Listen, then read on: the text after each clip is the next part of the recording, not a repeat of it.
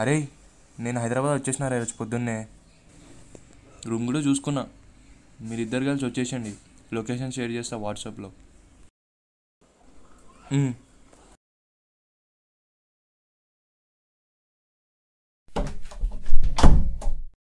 Hi రా.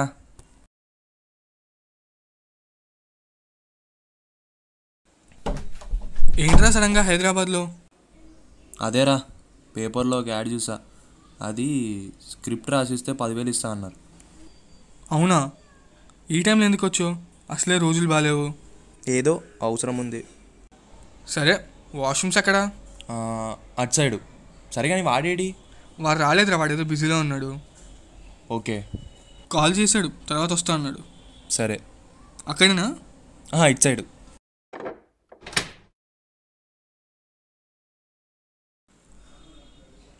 అరే rice పెట్టినా కర్రీస్ కూడా తెచ్చినా తిందాందా నువ్వు వెయిట్ చేయి.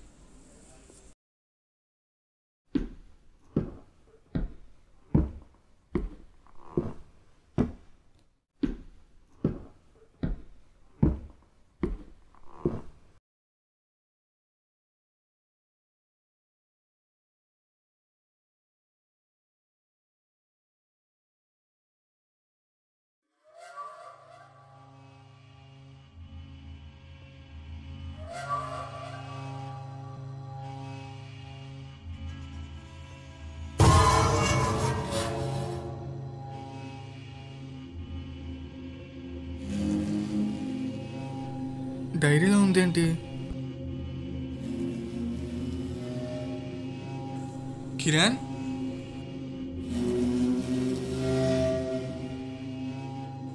కిరణ్? ఆ, చెప్పరా. అక్కడ ఏదో డైరీ దొరికిందిరా. పొద్దున క్లీన్ చేసినప్పుడు కనబడిందిరా. ఏదో పర్సనల్ ఉందని ఎందుకులే చదవడం అని పక్కన పెట్టేసా పర్సనల్ అయితే చదవద్దా?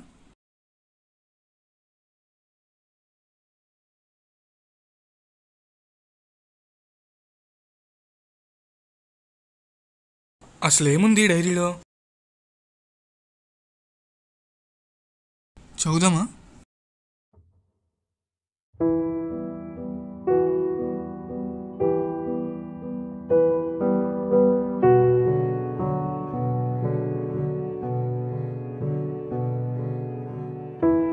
నా పేరు జోసెఫ్. నేను ఒక టెలికాలింగ్ ఎంప్లాయీని. రోజంతా జాబ్ చేసి వచ్చేలోపే టైం అంతా అయిపోతుంది. నేనెప్పుడు లోన్లీగా ఫీల్ అవుతాను. రోజు ఒంటరిగా ఉండే నాకు ఒకరోజు ఫేస్బుక్ నుంచి ఫ్రెండ్ రిక్వెస్ట్ వచ్చింది.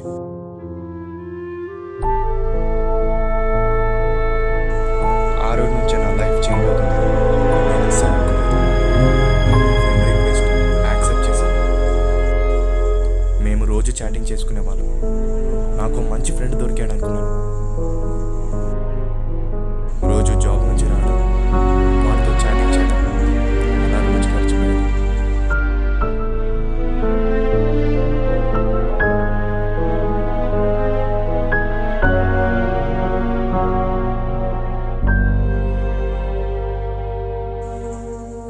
చేసినవన్నీ డైరీలో రాసుకునేవాడిని ఇలా నాకు డైరీలో రాసుకోవడం చిన్నప్పటి నుంచి అలవాటు. నేను అతనికి ఒకరోజు కాల్ చేశాను. కాల్ చేసి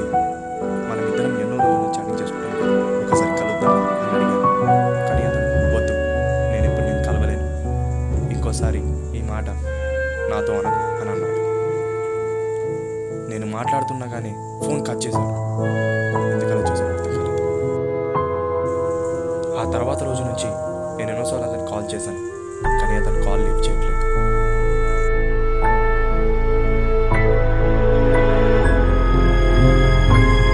నేను వాడికి ఎన్నిసార్లు కాల్ చేసినా కాల్ లిఫ్ట్ చేయట్లేదు.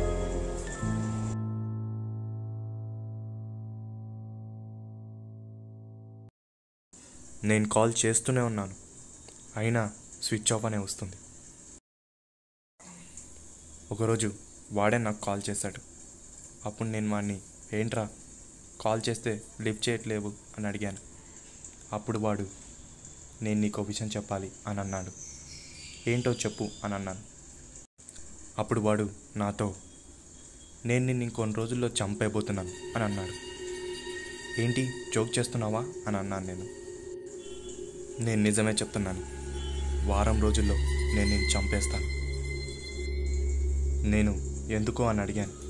వాడు లాస్ట్ ఇయర్ నేను ఇదే టైంకి చనిపోయాను అని అన్నాడు. సడన్గా మాట్లాడుతుంటే ఫోన్ కట్ చేశాడు. నాకు ఆ మాట వినగానే చాలా భయమేసింది. వాడు రోజు three days to go four days to go అని మెసేజ్ పెట్టేవాడు. అలా రోజు టార్చర్ చేస్తూనే ఉంటాడు. చాలా భయమేసింది.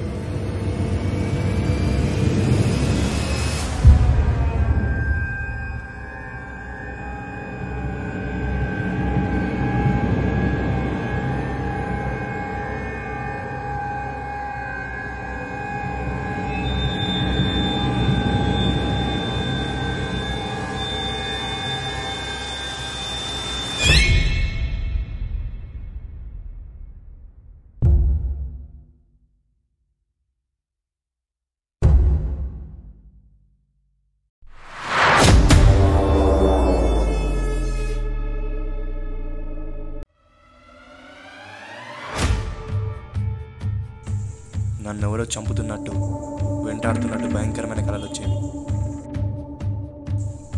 ఒకరోజు మా ఓనర్ అంకుల్కి కాల్ చేశాను.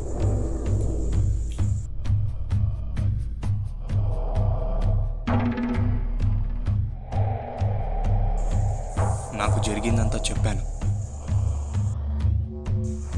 నాకు ఇంట్లో ఏదో భయంకరమైనవి జరుగుతున్నాయి. ఎవరో నన్ను చంపడానికి ప్రయత్నిస్తున్నట్టు అని అనిపించిందని చెప్పాను. నేను ఇక్కడ నుంచి వెళ్ళిపోతానని చెప్పాను.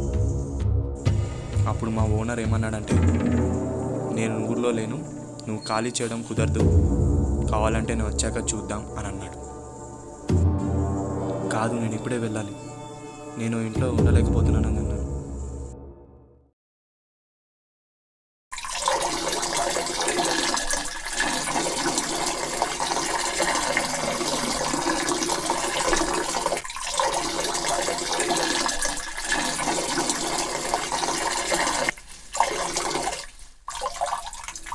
నాకు వాడి నుంచి ఒక మెసేజ్ వచ్చింది.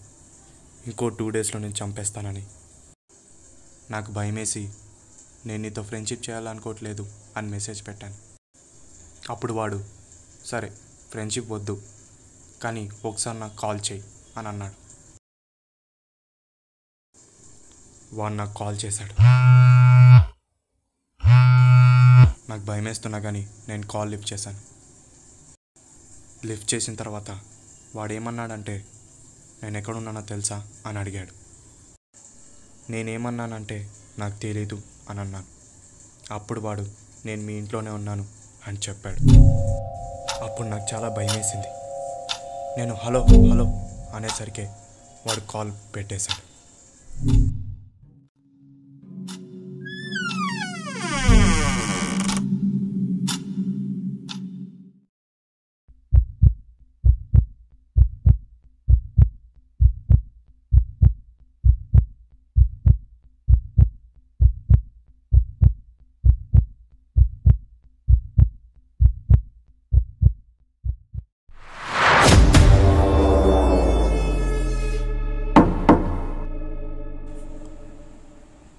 ఏంటా సౌండ్. కిటికీ. పద వెళ్ళి చూద్దాం.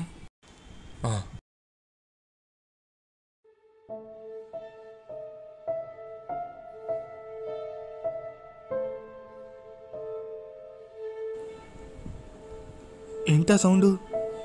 ఏమోరా అక్కడ వెళ్ళి చూడు.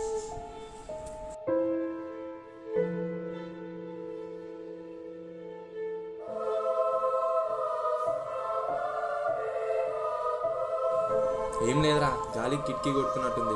పదా మనం వెళ్ళి చదువుదాం. ఆ,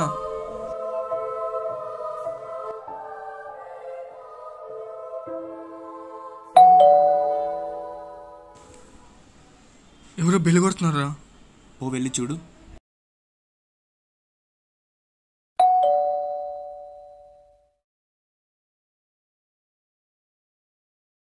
అరే కొరియర్ అంట. కొరియరా? మనది కాదనుకుంటారా? మంది కాదా?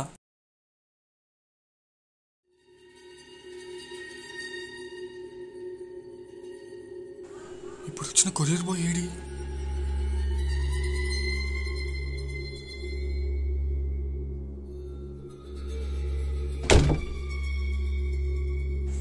రే రే ఇంత కూర్చుని కొరియర్ బాయ్ లేట్రా ఇప్పుడు?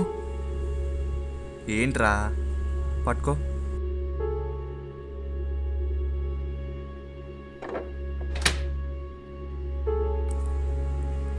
లేరు కదా.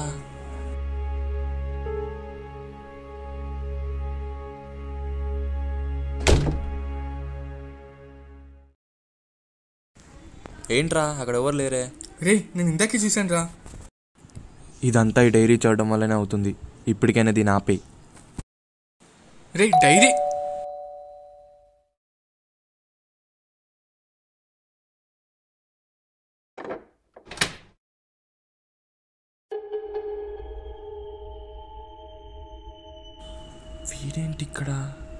నేను చిన్న పని మీద బయటికి వెళ్ళి వచ్చాను రా అయినా నువ్వెప్పుడు వచ్చావు? రే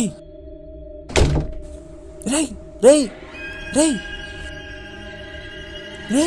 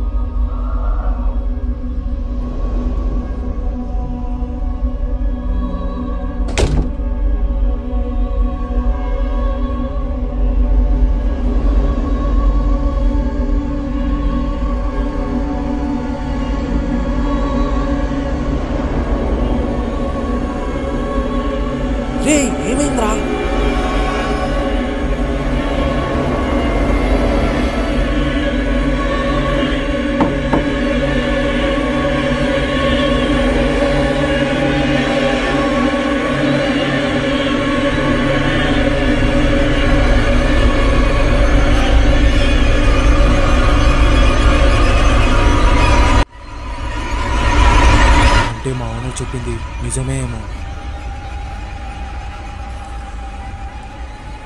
బాబు నేను మీ ఓనర్ని మాట్లాడుతున్నా. ఇది నీకు విషయం చెప్పని ఫోన్ చేశాను బాబు. ఏంటంటే మీ ఇంట్లో జోసఫ్ అని ఒక వ్యక్తి ఉండేవాడు ఇంతకుముందు అతను ఎప్పుడు లోన్లీగా ఏదో కోల్పోయిన వాడిలా ఉండేవాడు. ఎప్పుడు భయంగా ఏదోలా ఉండేవాడు. తను ఎప్పుడు చూసినా ఏదో డైరీ రాస్తూ ఉండేవాడు. ఒకరోజు నాకు ఫోన్ చేసి అంకుల్ నన్ను ఎవరో తరుముతున్నారు. నన్ను ఎవరో చంపాలని చూస్తున్నాడు అని ఫోన్ చేసి మాట్లాడాడు నేను అప్పుడేంటి ఇలా మాట్లాడుతున్నా అనుకున్నాను తర్వాత మళ్ళీ ఇంకో రోజు కాల్ చేసి అంకుల్ నేను ఇంట్లో ఉండను నేను ఇక్కడి నుంచి వెళ్ళిపోతాను ప్లీజ్ ఈ ఇంట్లో ఏదో ఉంది అని చాలా భయపడుతూ మాట్లాడాడు. నాకేం చేయాలో అర్థం కాలేదు. ఆ మరుసటి రోజే ఆ ఇంట్లో శవమే కనిపించాడు. అతన్ని సూసైడ్ చేసుకొని చనిపోయాడు. ఎందుకు చనిపోయాడో నాకు అర్థం కాలేదు. తర్వాత పోలీసులు వాళ్ళ అమ్మ నాన్నని ఇన్వెస్టిగేట్ చేసినప్పుడు తనకేదో మెంటల్ డిసార్డర్ ఉన్నట్టు ఉన్నది లేనట్టుగా లేనిది ఉన్నట్టుగా ఊహించుకుంటాడని వాళ్ళ అమ్మ నాన్న నాకు చెప్పారు. తన డైరీలో కూడా అవన్నీ రాసుకున్నాడు. ఇన్వెస్టిగేషన్ తర్వాత ఆ డైరీని నేను ఒక దగ్గర దాచిపెట్టాను. కొన్ని రోజుల తర్వాత ఆ ప్లేస్లో ఆ డైరీ లేదు. ఎలా మాయమైపోయిందో ఇప్పటికీ నాకు తెలియదు చాలామంది బ్యాచిలర్స్ భయపడి వెళ్ళిపోయారు. నువ్వైతే ఇల్లు తీసుకోలేవద్దో ఆలోచించు. అయినా ఈ జనరేషన్లో కూడా ఇవన్నీ నమ్ముతాను ఇంతకుముందు దిగిన వాళ్ళు కూడా ఇదే చెప్పారు బాబు.